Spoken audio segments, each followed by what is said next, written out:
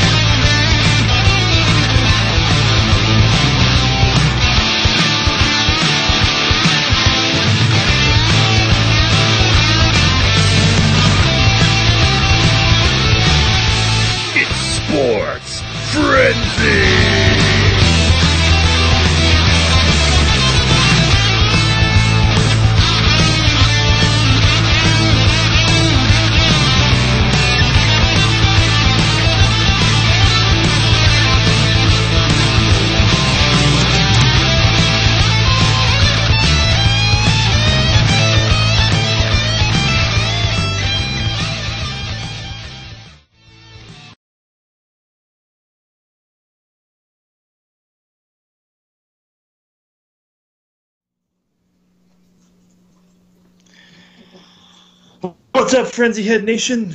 It is season six, episode seven of the recap show. The late edition of the recap show, actually, because we're shooting a day later than we normally would. So, because of pay per views, the WWE pay per view. What's going on, Rose? Not too much, not too much. Just uh, working on the sheets as we speak for next week. The sounds in the air that you hear is Jamie Rose. so we've already started the night off with technical difficulties. I had to Skype on my different device because Skype wasn't working on my other computer. So hopefully I'm coming through loud and clear and the picture looks good and we'll we'll continue on with the show. Um, but yeah, some uh, interesting. Uh, I guess it was a fairly interesting pay per view from what you had to say, Rose. Yeah, yeah, it was uh, pretty decent. A couple good matches, uh, a couple good Hell in a Cell matches. Uh, not quite sure how I feel about the ending of the Hell in a Cell match. But Was uh, it uh, was it actually over by the time you got home, or did it run later than that? Um, well, I got home and I got cleaned up, and then I actually went over to a buddy's house and we watched it at his, um, his house.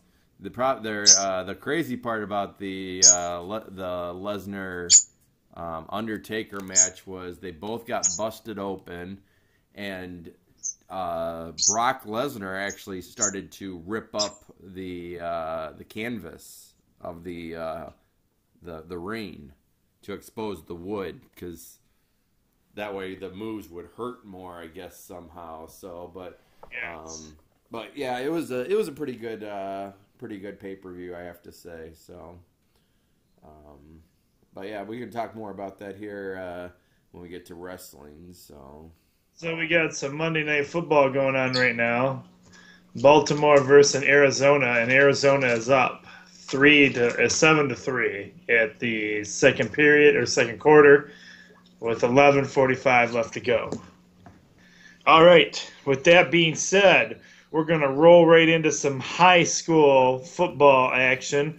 Uh, these are your actually these were your final um, uh, regular season games because this week I believe starts playoff action. Yes. So we have Coldwater rolling over, destroying, annihilating Adrian, thirty-five to fourteen. Oh, coming right up to your first. A three. A three. A three point bonus game. It's a three. It's a three. It's a three point bonus game. Yes, it is. That was pretty good tonight, Rose. Not bad. No You've uh, been- Southern Twain there for you guys tonight. You've been practicing in the mirror, haven't you? I have, I have. I, I got into the rhythm of it tonight. Um, we have for your th- uh, three point bonus game, uh, Clinton over Whiteford, thirty six to eighteen. Clinton is still Not showing- undefeated. Not showing favoritism, but I am. yeah, Clinton. Well, you have to because you're married to an alumni. that is, that's right. I am married to an alumnus, so. Okay, all right. Now you guys remember I called this one my skeptical game of the week. And boy, was it, did I prove to be very skeptical in this game. so I was keeping a close eye on this game all night long. I was getting lots of Twitter feeds on this one. And actually, I had my buddy Rich Hollowell out there live from Hudson. And I flat out told him, now, dude, I chose Hudson because I know you're there at the game. Can you give these guys like some kind of motivational speech or something? Apparently, he couldn't because Hudson got destroyed, annihilated, wiped out of Hudson. It's surprising the football field's even still there. 35 to nothing. Congratulations, Hillsdale. Well played. Well Yes. played. And with that win, that got Hillsdale into the playoffs.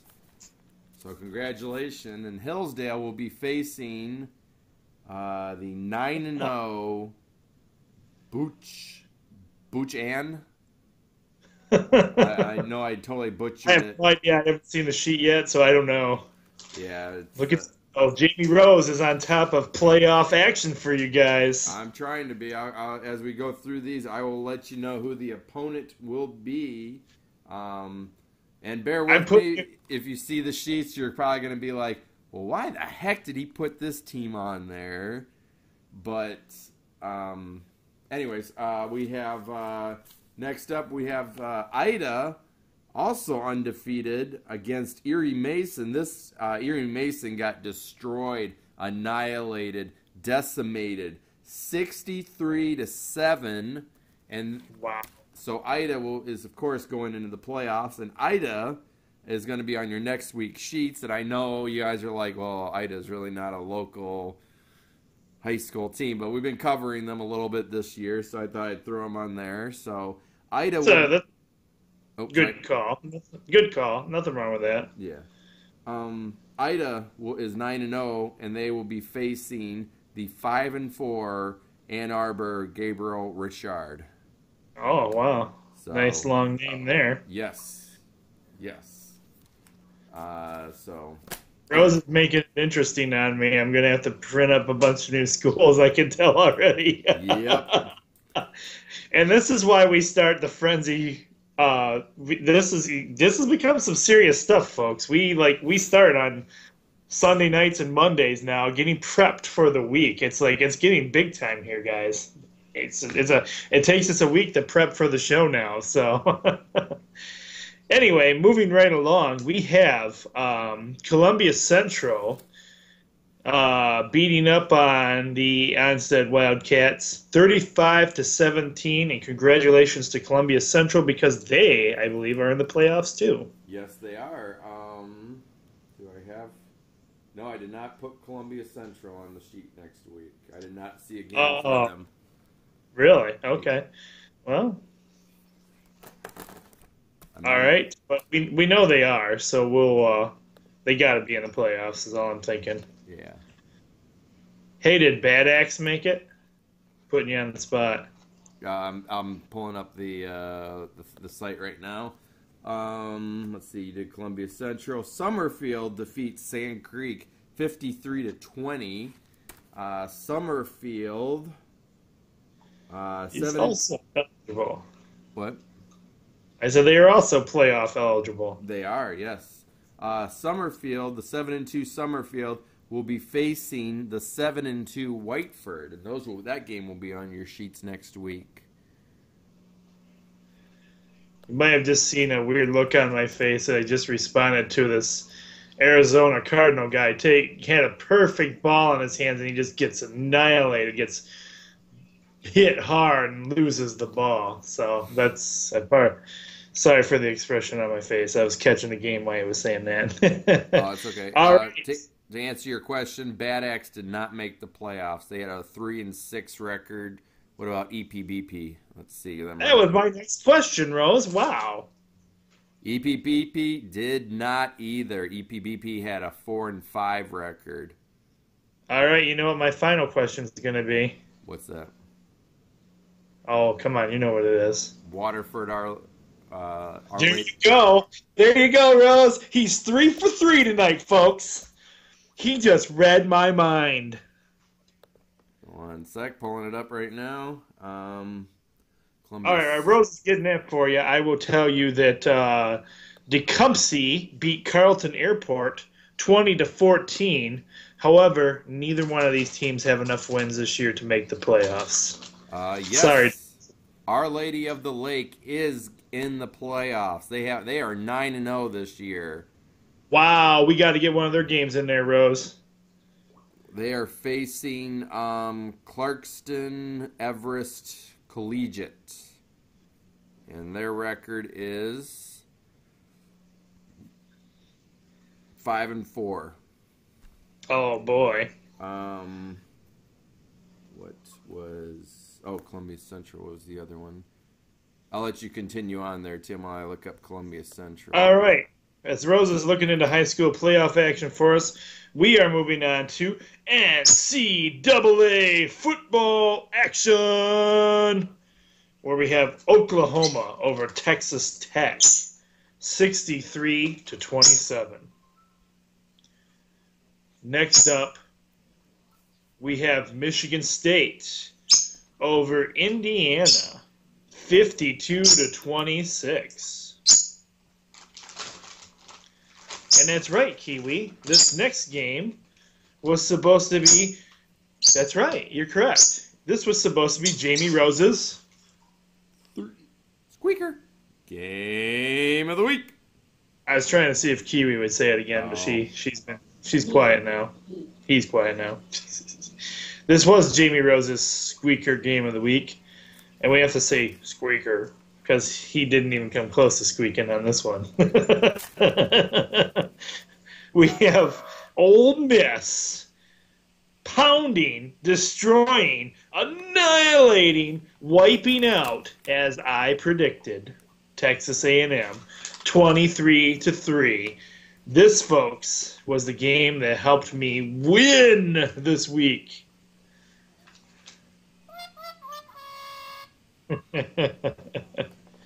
I was a little scared after I picked against Hillsdale because that that put Rose on top, but I battled back.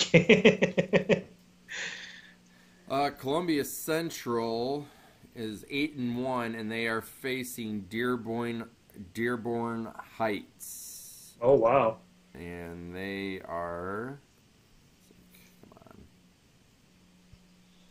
seven and two. So I will. All right. get Uh, next up, I'll take this one since Rose is doing lots of research for us and he's on top of these the research stuff right now. We have uh, Adrian College getting a win over Wisconsin Lutheran, thirty to twelve.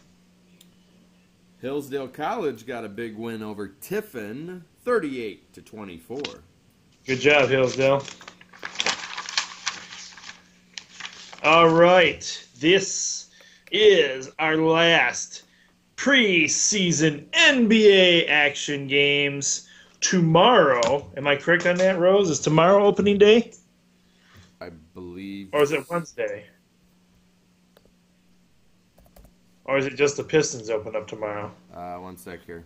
Anyway, while Rose is looking on that, Why I'm are you sorry. putting me on the spot tonight? Put- tonight. Here, we, this is recap show, and we probably got as much information gathered into this show tonight as we do any of our other shows. Anyway, we got the Pistons over the Hawks, 115 to 87 was that final there, and the San Antonio Spurs over the Houston Rockets, 111 to 86. All right, NBA regular season starts tomorrow, Tuesday, the 27th. So today for you guys out there, you will have the Pistons versus the Hawks, the Cavaliers versus the Bulls, and the Pelicans versus the Golden State Warriors. Wow. All right. All right, on to hockey action. We're getting right through this now that Rose is looking up all this stuff for us. We'll let Rose take this one since he's uh I've been keeping him busy over there. All right, we have uh, the Flames squeaking by the Detroit Red Wings, three to two in overtime. Ooh. Take the next one too. You've been lo- out for a little bit. The Tampa Bay Lightning also squeak by the Winnipeg Jets, four to three in overtime. And one more because that's just the way we roll. The Toledo Walleye get a big win over the Kalamazoo Wings, the K Wings, uh, five to two. The Walleye win. Woohoo! Way to go, Walleye. Um, and then we have finishing off your hockey, minor league hockey action. We have, oh man, the Charlotte Checkers over the Grand Rapids Griffins, three to one. What's going on with our Griffins, Rose? I'm not sure if it's in the new coach or exactly what's going on here with them, but hopefully I think they- we're gonna have we're gonna have to get you out there to investigate things. hopefully they get their act together soon here. So, uh, next, uh, moving on to some NFL football. The uh, Minnesota Vikings defeat the Detroit Lions, twenty-eight to nineteen. and the Patriots over the New York Jets, thirty to twenty-three. NASCAR action for you guys. Yeah, buddy, Logano, man. Oh my goodness. Joey gracious. Logano does it again. I'm telling you, Rose, I'm real close to buying me a Logano hat and jersey because I think I found my new racer, man. Uh oh. This kid has got it all right now. He's not only a good racer, but he doesn't do a lot of trash talking unless he has to. Love his attitude about things. He just flat out says, you know, I can race with anybody, and uh, I adapt my style to everybody else's style. So, man, I don't know. It's almost like he's gone easy on everybody for the season. It's like he's tearing it up three weeks in a row. He's got a streak going, Rose. Anyway, Joey Logano was your number one winner. Dale Earnhardt Jr. came in number two, and Jeff Gordon is number three. And correct me if I'm wrong, but I don't think Dale Earnhardt Jr. or Jeff Gordon are even in the qualifi- qualifying for the uh, final races, are they? Um, Jeff Gordon is. Oh, okay. Uh, I'm trying to real quick figure out because this isn't as cl- clear and cut.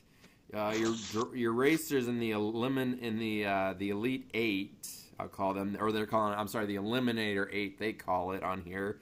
Joey Logano, Carl Edwards, Jeff Gordon, Kurt Busch, Brad Keselowski, Martin Truex Jr., Kevin Harvick, and Kyle Busch. So eliminated are Matt Kenseth, Danny Hamlin,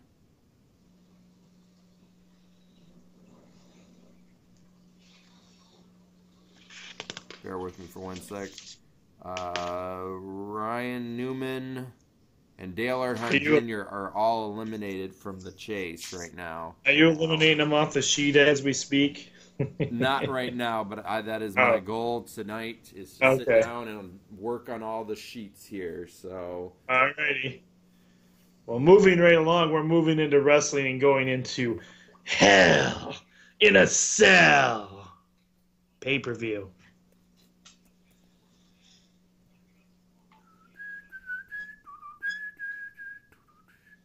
Our first match of the night was your world heavyweight champion, Seth Rollins, taking on the masked Kane. Your winner of this match was none other than Seth Rollins. Your first Hell in a Cell match was Roman Reigns versus Bray Wyatt, and Roman Reigns gets a big win. So did he destroy him? It, I mean, it was pretty. They went through a lot of tables, and uh, it was a very good match, though. So did he look beat up at all when they came out and took the Undertaker? Uh, no. Well, he didn't do too much. Mostly the the other family members, the Wyatt family members, came out and did more stuff. Okay, so they tried to sell it that way then. Yeah, he he, he like the the other Wyatt members got in the ring real quick, and he kind of took his time, and I think was trying to portray like he was still sore. All right. And speaking of the Undertaker, your other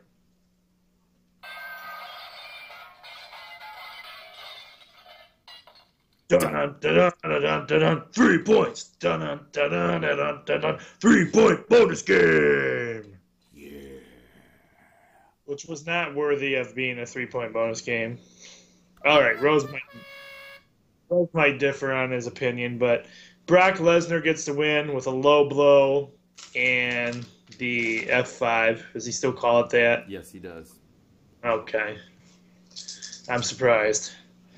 Anyway, your winner was Brock Lesnar. And to finish that match off, the Wyatt family comes out and carries The Undertaker away. I'm curious to see where they. I'm curious to see where they go with that story angle. First of all, The Undertaker should have got up and just annihilated them all and left, screaming fans going nuts. I don't. I this taker is not this taker that we have here now. I gotta keep this short because the show could get long. But this taker we have here now, we might be able to talk about it more on Thursday, Friday show. This taker we have now is more like the biker taker than he is the original Undertaker Undertaker. He doesn't he he doesn't have any of the magical ability that the original Undertaker had. And the original Undertaker was invulnerable, if you remember correctly. It's like nobody, people were terrified of him because they couldn't stop him. Like how it's kind of like even Hogan had problems with him way back in the day when Hogan first faced him. That unmentionable guy in the WWE. You said his name. uh, anyway, so I'm a bit disappointed in that one, but uh, to keep the to keep the show, the recap show from not going too long, I've got two things for you tonight, and then Rose can finish up something if he wants to. But I want to say uh, um, that uh, we were sad to hear of the passing of uh, of uh, Coach Flip Flip, who uh, coached coached our Pistons for quite a few years there. Uh, he passed away yesterday of uh, cancer, so uh, that that was fairly sad news. I thought he was a fairly, well, not fairly, he was a good coach. So, uh, rest in peace, Flip. And the other piece of information I have for you tonight is the um, Detroit Lions fired uh, three or four of their offensive line coaches, including the head guy um, who was uh, a family member of Vince Lombardi, believe it or not. So uh, that's all I have for you guys tonight. Do you have anything you'd like to add to it, Rose? Nope, that's about it for me. All right, so there you go, guys. Uh, our current score for the football game is, I believe, the Ravens just scored, and it's ten to seven with three minutes and fourteen seconds left in the second quarter. I'm the coach. Be blessed, everyone, and have a great week. We will see you again real soon. In the air, around you is. Jamie. Take care, everyone. We'll talk to you again soon. Have a great night.